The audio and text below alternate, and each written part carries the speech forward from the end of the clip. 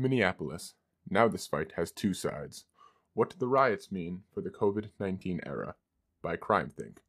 Published May 28, 2020. The demonstrations this week in Minneapolis mark a historic watershed in the COVID 19 era. As we argued in March, there are some things that are worth risking death for. Perpetuating capitalism is not one of them. But some of us face threats even more deadly than COVID 19.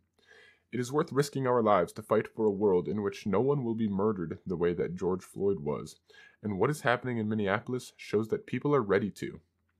Even before the pandemic hit, the United States was a powder keg, with rapidly escalating inequalities polarizing the population.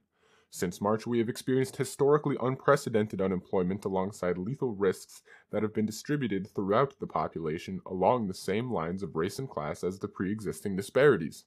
The government has invented billions of dollars to pour into the pockets of executives while leaving ordinary people high and dry.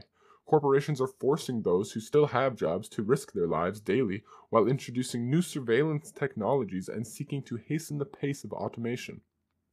In short, we are being treated as a surplus population to be controlled by state violence and culled by the virus. Politicians across the political spectrum are complicit in this.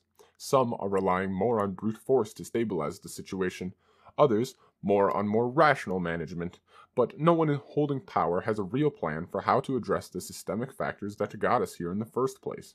At best, they borrow rhetoric and talking points from campaigns that we start, showing, just as the firing of the police in Minneapolis did, that the only way we will see social change is if we take grassroots actions to bring it about by force.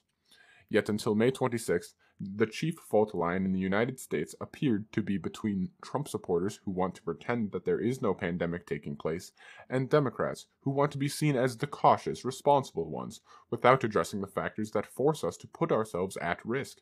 The spectacle of clashes between an astroturf far right movement demanding to reopen the economy and unusually restrained police officers defending state shutdown measures served to limit political discourse to a fool's choice between the kind of freedom championed by capitalists and white supremacists on one side and the kind of safety that totalitarian states always promise to provide on the other. The courageous resistance to police control in Minneapolis on May 26th and 27th in response to the brutal murder of George Floyd shows that a large number of people are ready to oppose the government and the police, even at a great risk to themselves. We are hearing the voices of a part of the population that was silent these past two months those who are neither wealthy liberals nor bootlicking conservatives, and it turns out that together we are powerful enough to interrupt the status quo.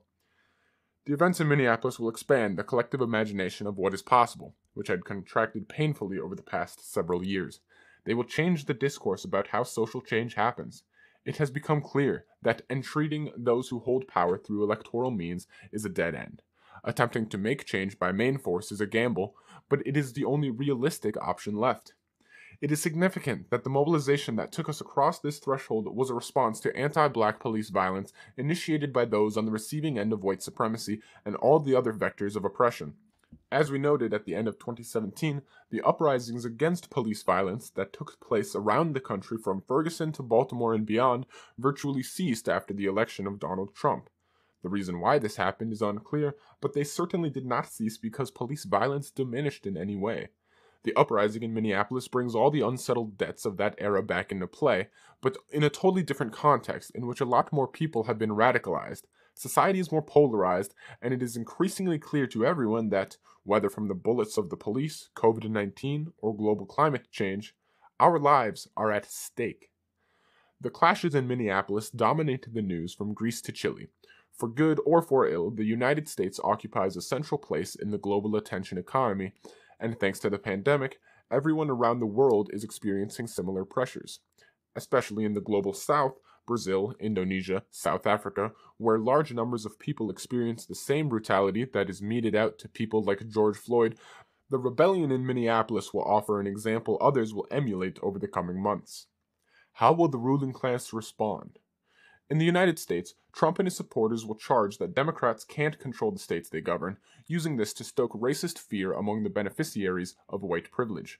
Centrist Democrats will claim that this sort of unrest is what happens when rule of law is not respected in the White House, hoping to regain power nationally.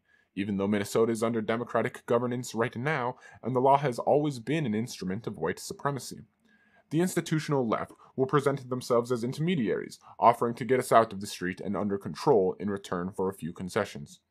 Hopefully, in a time when the state itself is fracturing into rival factions, none of these groups have the political capital they need to carry out a massive state clampdown without running the risk of being abandoned by the others.